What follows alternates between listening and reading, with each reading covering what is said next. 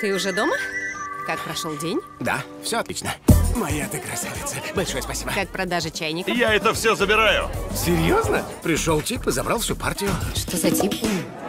Товар конфискован. Когда ты уже нормальную себе работу найдешь? Хотите работать утром или вечером? Часиков с 12.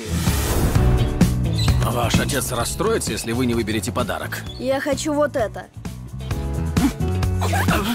Боюсь, это невозможно. Отец очень расстроится. Буду звать тебя Гюнтер. Я никакой не Гюнтер!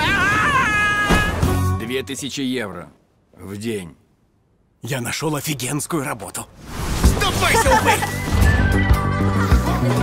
Если человек нравится, скажите ему об этом.